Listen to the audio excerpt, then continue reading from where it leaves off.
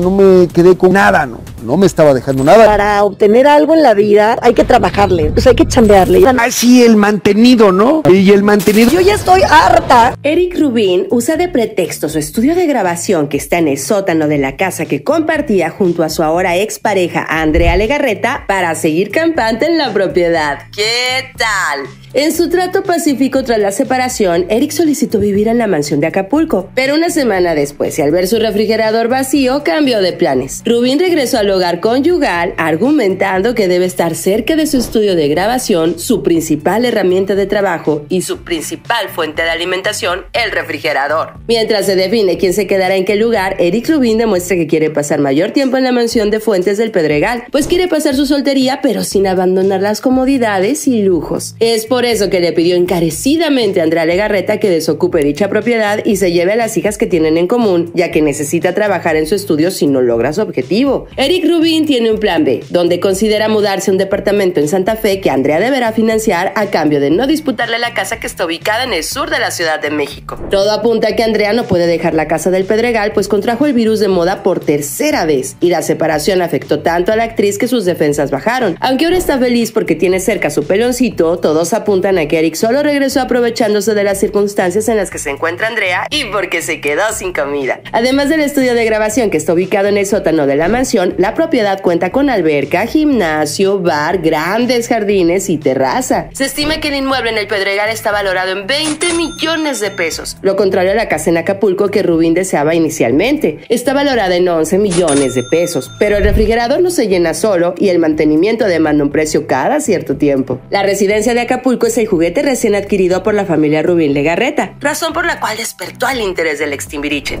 Pero tras vivir una semana en la propiedad, se dio cuenta de la realidad, pues que la casa no se limpia sola, del refri no brota comida, los platos no se lavan solos y pensando lo mejor, ahora busca algo más moderno y cómodo. Tras 22 años de feliz matrimonio, Eric Rubin está aprovechando que la ley lo ampara y todo el interés público que despertó el tren de su relación, por lo que no pierde la oportunidad de conceder entrevistas y así promocionar su su show Cumbia Machín y Norteño Machín. Para la muestra El Botón. En su más reciente aparición admitió públicamente que echará de menos la casa del Pedregal cuando se vaya. Eric Rubin y Andrea Legarreta son tomados de ejemplo de cómo terminar una relación amorosa. No obstante, mantienen sus ritmos de vida. Ella los sigue manteniendo. Viven juntos pero no revueltos y lo mejor, siguen siendo socios. Con la diferencia que si ahora vemos a Eric Rubin con otra mujer, ya no será señalado de infiel. ¿Y usted qué opina de la relación que tiene actualmente Andrea y Eric? Respóndenos en los comentarios. Y mi gente, en otros temas, te comento que Karim León expone los cuernos que le puso su esposa. ¿Te lo perdiste? Quédate el siguiente video.